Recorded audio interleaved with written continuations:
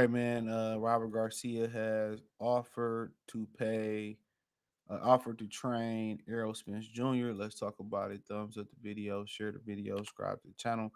Uh, next subscribe button is the bell icon button. Hit all notification, increase your chance, get notifications. We go live or drop video. And I actually think this is a great opportunity for Errol Spence. Uh, I know there's been some questionable things said about the Garcia camp regarding black people. I know some things going behind the scenes that I know for a fact happened. Um, but hey, it is what it is. Um, you know, people who know who know. The guy who had the video, you know, he refused to show the video because he wasn't. He didn't. He didn't secretly record the man, but he just he just so happened to catch it on camera. You know what I mean? But yeah, I heard what the fuck he said, dude. Like I said, I said I know a lot of things that going behind the scenes that a lot of these dudes don't want to say because they don't want to lose access. And like I said before, that's how you feed your family. Shit, I ain't knocking the nigga. He wasn't recording the guy saying what he said, you know, because on purpose, he just so happened to get it on camera. I remember uh after Ward beat Kovalev the second time, and they caught that conversation between Terrence Crawford and um and Andre Berto about fighting Sean Porter, and like Terrence was like, "Ain't nobody trying to fight that rugged, rugged nigga." And people say, "Well, see, he ducking Sean Porter," and that's where that he don't want to fight Sean Porter came from. And the cameraman, just, he wasn't even, he was just, you know, in the locker room getting the reaction from the fans. I mean, getting the reaction from everybody in the locker room.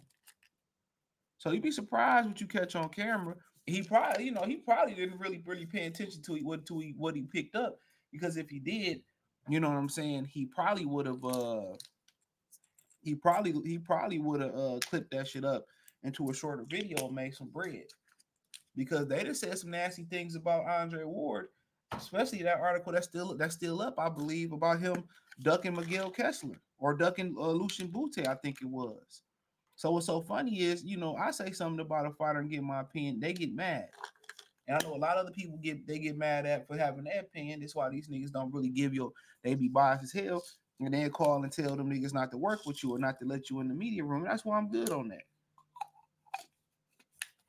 Even if it's subjective and true, that's just how these niggas operate. And with social media, I kind of feel where they coming from. But you know, Robert Garcia did some really good things for Marcos Maidana in a short period of time. Him, Big G, and Mikey Garcia, because remember, he was on suspension at the time he was in litigation with Top Rank.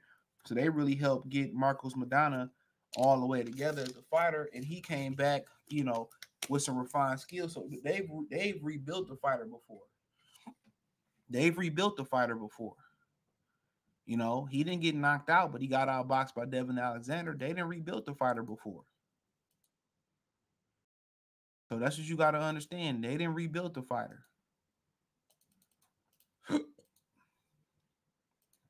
So, um, so some of the skills that they can help, if they can give, you know, you know, Maidana some some refined skills, then why can't they do that for Errol Spence, in my opinion? Okay. But uh Robert Garcia uh, opened a training Errol Spence. So that's what I'm saying. Why can't they give some of that skill set to uh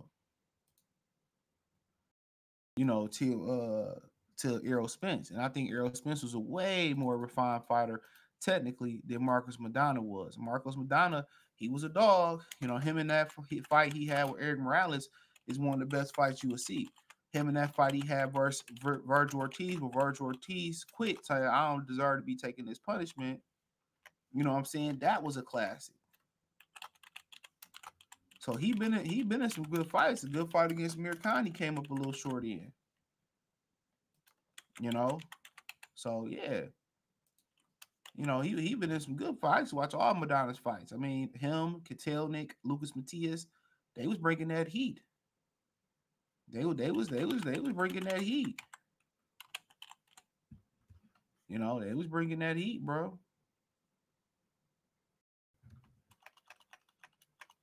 They was bringing heat, so I think they could do really good things for Errol Spence, honestly. I think they could do really good things for Errol Spence and Oxnard. And then I think the best thing for him will get the hell out of is get the hell out of uh is get the hell out of uh Dallas. I've been saying that. You know, a lot of these niggas don't know what's best for them, bro. When you get successful, you can't stay in your home area, bro. Not even the suburbs. All that shit that happened to him, he moved somewhere like uh, uh, uh Vegas, or he moved somewhere, you know, you know, you know, matured a little bit, moved somewhere. I don't know, uh, you know, Florida, whatever, somewhere warm. He probably want to stay, man. And you want to be around your family, but you gotta make certain sacrifices, bro. You a target. Niggas is jealous. And that's what they don't understand, bro. They think we think sometimes as human beings that you know we see this happen to that person, this happen, it's not gonna happen to us. Oh yeah, it can. And when it happens, it's gonna be a surreal situation. It's gonna be real surreal, bro. Real surreal. So he said, I, if I if I if he reached out, I would definitely consider speaking and talking to him. Said trainer Robert Garcia, two and zero boxer, would ask if he had trained Errol Spence. I would love the, uh, to because those are challenges for me too. He said, look at Marcos Maidana. We had the best paydays of his life when he came to me. Some sometimes fighters uh need something like that to come to the Mexican boxing gym. Maybe Spence needs something like that. Yeah, he fight like a Mexican already. Can't no Negro help him. Not too many. He said he already has a great style. He was pound for pound. He was one of the best fighters in the world. It's just little touches, said Robert about Spence. Honestly, I would be challenged, challenge for me. I wouldn't mind. He said it would be good challenge for me. I would love to talk to him and put something together. Why not? You know, just make sure he pay you. He don't pay them the Mexicans. They're gonna be on your ass like five minutes to eleven. He said, uh, I have a team too, but I'll talk to my team and everything. Why not? There are still many things that we can still do, said Robert Garcia. He he's a guy who's done it before. He's a guy that's recalibrated a fighter before. He's a fighter that built guys from the ground up like his brother. He's a former world champion. His father does a great job too, Big G.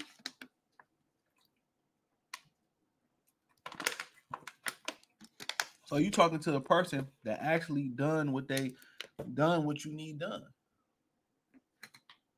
I, I hate. I'm not hating on Coach Calvin. But it's a way better fit than Coach Calvin. A guy that understands your style, probably can improve your hook, and all that. So to me, this this makes a, a, a tremendous amount of sense. Uh, this makes a tremendous amount of sense.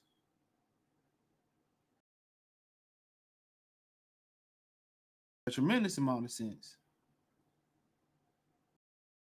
You know, and he get to get the hell out of Dallas, bro. That's where all his problems coming from. So just imagine the shit we know about. We don't, we don't even know about people nickeling and diming them, asking for a favor. Niggas be thinking, oh, I want to be close to my family for my kids. Man, fuck that. Go do what's best for you, bro. See them niggas in see them niggas on a holiday. Real talk, you gotta do what's best for you. My mother told me a long time ago it's probably best for me to leave. And I should have stayed gone, to be honest, bro. And I think that's the best way for a lot of young black men is just to leave. Figure it out, leave the hood. That's why you see some niggas, you know, uh, uh, their mama's new boyfriend come out, and the first thing they do if they ain't doing nothing productive, they throw that they throw that ass on the curb. Cause they know they know what what what they've been there before. They know what they need. Sometimes I remember I had a manager and shit, and he was uh gay. And he basically said that this is because he was gay. You gotta remember, you gotta remember the time the time it was, man. This before this shit really became trendy and stuff. And he said that his parents threw him out on the curb. He was he was in Memphis sleeping on the tent.